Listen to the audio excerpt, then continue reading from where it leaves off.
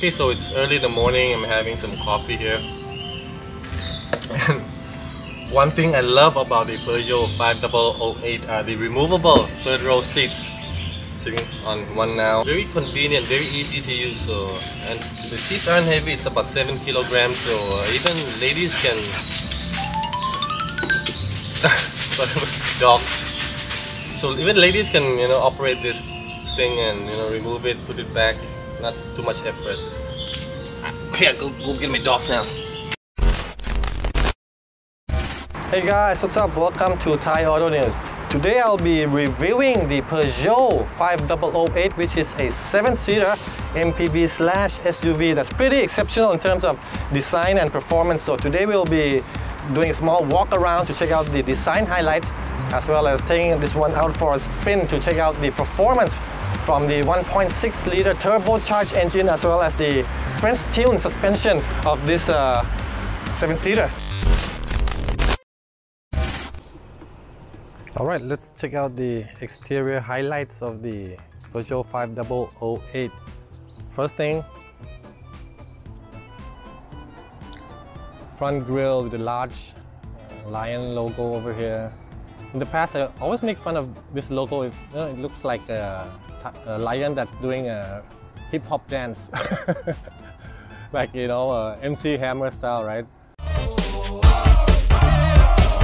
Stop! Hammer time! Maybe uh, over here we got 5008 uh, badge. 3D uh, kind of a design for the front grille. So nice front end design.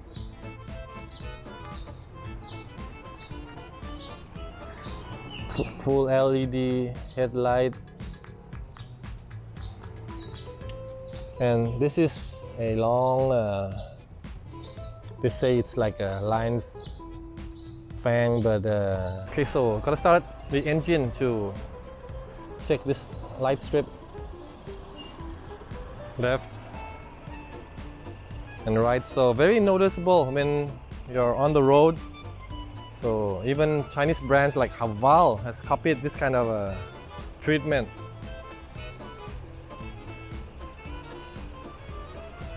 Okay, coming to the side, uh, you know what? There is more chrome in this car on, on the exterior than German luxury cars. Look at the amount of chrome, okay?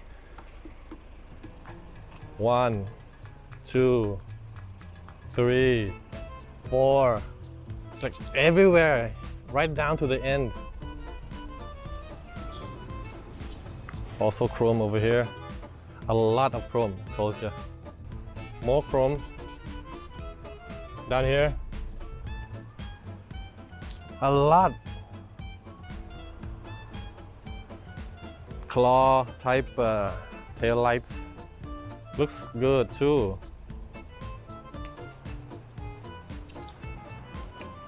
Peugeot logo the hip hop lion okay there you go quick gesture, like a swipe, to gain access to the rear compartment. And uh, if you have all the seats up, maybe not so much uh, storage room left, but uh, that's the common thing with the MPVs anyway.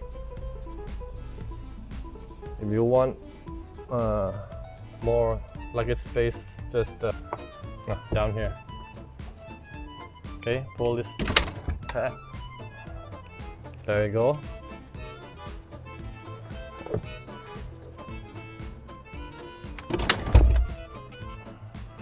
And I like this thing also, uh, this material is okay, not shabby.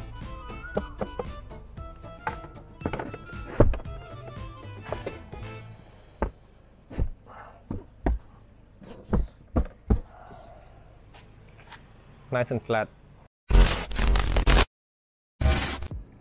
Okay, so let's check out the interior design of the Peugeot 5008 and the first thing you'll notice is that it's pretty modern and you know spaceship-like, spacecraft-like, especially this steering wheel as well as the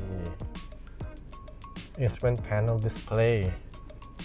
But apart from the modernism, you also get a lot of uh, luxury, and a lot of soft touch materials. It's kind of a rubbery kind of soft touch, as well as fabric upholstery on the door panel and as well as on the console. This whole console, nice, soft touch here as well.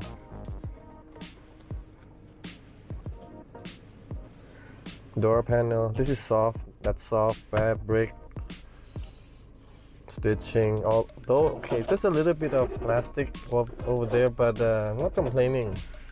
Pretty nicely done in the cockpit of the 5008 in terms of seating position uh, both front seats are powered and uh, you also get a powered lumbar adjustment four-way for the driver which is uh, fully equipped uh, in terms of the front. But the one thing you must get used to when driving modern day Peugeots is that the steering wheel position and the instrument panel display is a bit awkward. I mean, um, yeah, the, the steering is a bit low and the display as well. So uh, you've got to find your you know, the right adjustment. Otherwise, you won't be able to see this uh, lower information. Apart from this multi-function steering wheel, which looks very spacecraft-like, and the instrument panel display, you get a 10-inch touchscreen, which um, does come with uh, Android Auto and Apple CarPlay, but uh, not wireless. You need to plug it into the USB, and you also get a 3D display as well. Another styling feature you won't find in other brands is the piano key controls over here which looks very upmarket as well. It's not plastic it's kind of a metallic. And uh, down here we have a wireless charger. The USB is over there but just one over there and a 12 volt outlet. Over here you've got the grip control uh, selector knob which uh, allows you to fine-tune the 5008 for different driving conditions. They call this an SUV, but you know what? It's just a front-wheel drive car. So uh, I think there's so much you can, you know, go off. You can. I don't think you can go heavy off-roading with this car, but at least uh, you've got some some help from the drive system. Various drive systems over there. You can uh, pick over there and look at the gear shift lever. Very unique, very modern looking, very spaceship-like feel in this center tunnel. And look at the amount of uh, decoration over here. It looks very pretty. Here you can store some things over there. But my phone won't fit here properly, so too bad. This is a better place to put the phone uh, brake hold function over there and you got a small sport button here as well. The cup holder is uh, over here. Uh, it's also illuminated so a nice blue uh, light at night makes this thing look more upmarket. Armrest soft touch and does hold a lot of things. We can remove this, I think. Yeah, we can. Oops. but look right inside, very deep. So it's bigger than you think it is. There's a lot of stuff over there. Let me lock it down. Nice mechanism. Just mentioned this whole thing all soft. Let's check out the glove compartment. Oh, there's a huge thing over here. I think that's a fuse box. So this car has been uh, modified from left-hand drive to right-hand drive and Peugeot didn't move this to the right so uh, not so much space down there, too bad. Okay, up here got some more controls the whole uh, roof is uh, glass. Let me open it.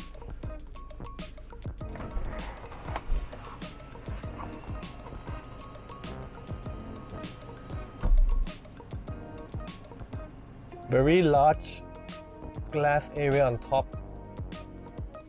So for those who like uh, glass roof, this is really cool.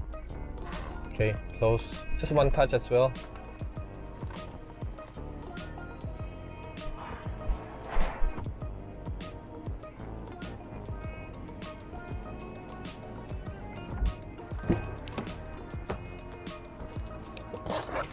Let's check out the backseat space of the Peugeot 5008 West. Plenty of leg room over here, very nice. And uh, armrest, put phone here, cup holder as well. Feels sturdy and nice, not too shabby. And uh, in case you want to increase the rear leg room, you can also move so uh, I can come a little bit more. Still just enough and uh, the rear leg room will be increased so uh, functionality in this car is really good. Uh oh no unlike the front. This is plasticky. Although okay the armrest is padded and you do get the same uh, fabric decoration. Oh one more thing and the backrest can be inclined as well so a little bit. Yeah nice comfort at the back of the 5008. I like it.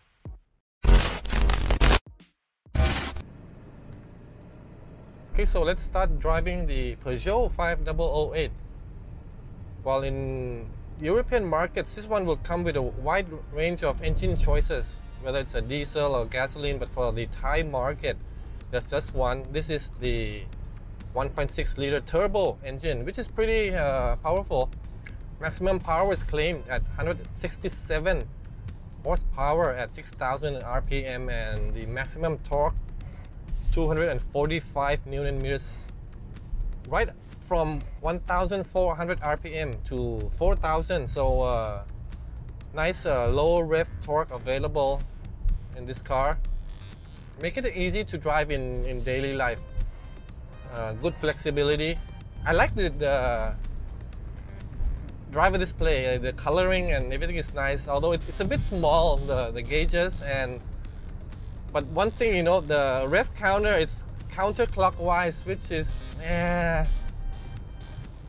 doesn't feel sporty. It's just like this, you know, some brands are starting to do this. Uh, Bentley and even BMW 3 Series is like counterclockwise rev counter, which is like. Uh, but apart from that, the seats, man, very supportive and you know, Peugeot is well known for offering high quality seats. I mean, uh, my family, we when I was a kid, we had three Peugeots, 204, 504, 505, and the seats were the best. And I think the tradition has continued to the present.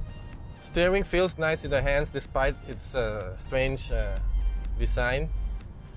So uh, I guess uh, with sporty driving, you can be pretty sure this one will offer some good stuff.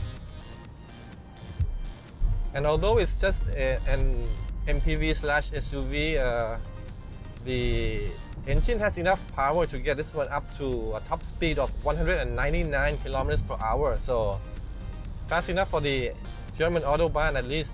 And for Thailand, no problem at all. The suspension comprises of MacPherson struts up front, torsion beam at the rear. And again, uh, one thing Peugeot has always been well known for is offering very good very good very good tuning for the suspension. The good thing about this steering is that uh, you don't have to put in a lot of input, you know, steering uh, just a little bit and the car changes direction quite a lot. So quite convenient to drive in the city. Suspension wise, I think uh, the only weak point about this suspension is uh, although in in normal driving, it offers a decent comfort level, but uh, if you happen to go over uh, speed bumps or uh, sharp uh, vibrations on the road, it could feel a little harsh. But in my opinion, I think I'm, I'm happy to to trade that off for sporty handling in the Peugeot 5008. In terms of safety, uh, advanced safety, you get uh, not the whole package. Uh, no emergency brake, no automatic braking. Although, okay, you get blind spot warning, lane change, lane keeping assist, which uh, can be turned off. And once you restart the engine, it'll remain off. So that has been well thought of. For example, I don't like the lane change feature because I like to cross the lane marking sometimes. Uh, so very convenient for me as well.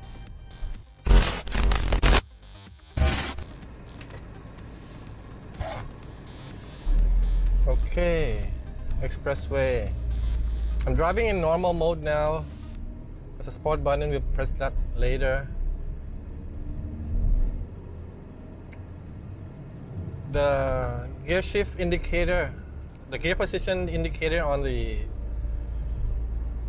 driver display it also tells you the gear position. Now it's in D5.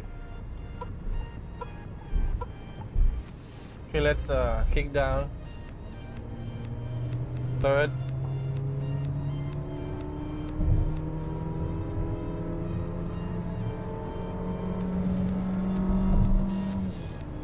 Almost 6,000 before shifting up. Oh, double shift to 6 already since I left off just now. Anyway, let's uh, shift into sport mode. Okay, the, some of the controls in the 588, you really got to press it hard. For example, the start stop button and this sport mode as well. Oh, the steering feels a bit heavy. Perhaps a part of that sport package, sport mode package.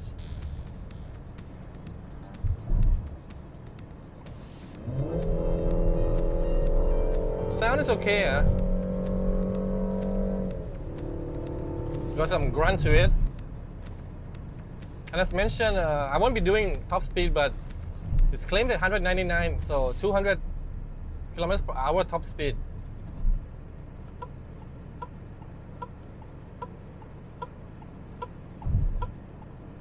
Steering is heavy now in sport mode. You can easily feel it.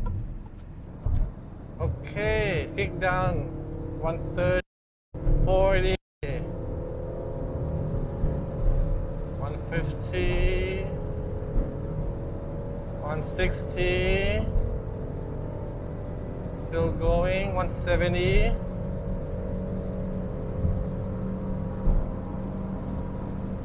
One eighty and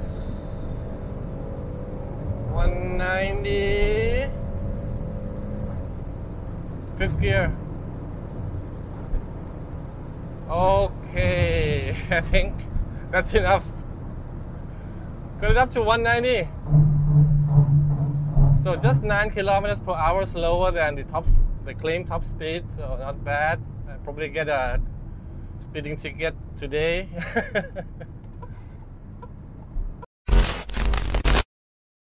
okay, so that wraps up our review of the Peugeot 5008. Just a few notes I gotta clarify. This is quite an aging model already.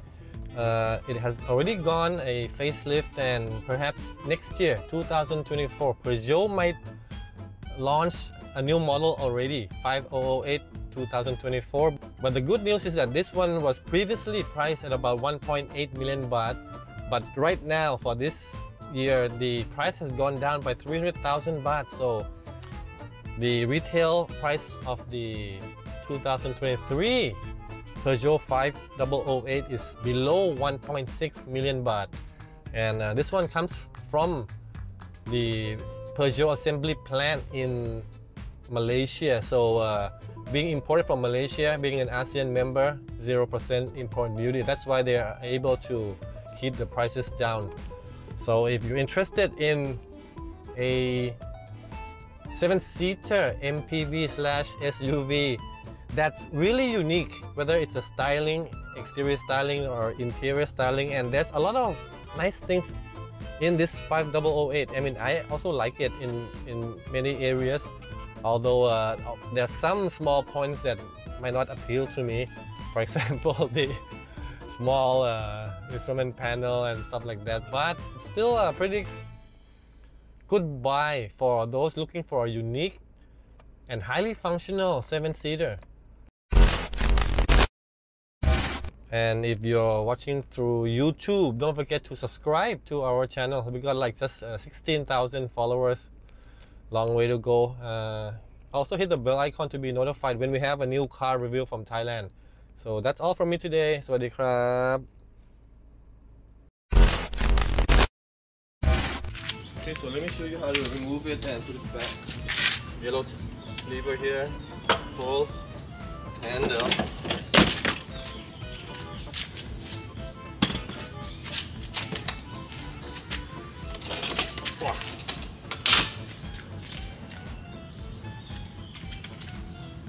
Back, uh, pull the red. This would be the handle. But here you gotta be quite precise with the positioning.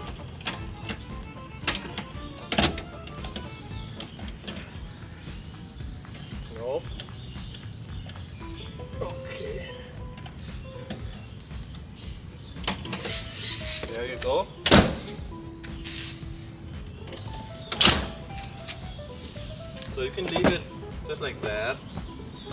Or if you wanna store it just there. Pull the red tab once again. And you have flat cargo area. And in addition, you can also fold the rear seat backrest to maximize the luggage compartment size.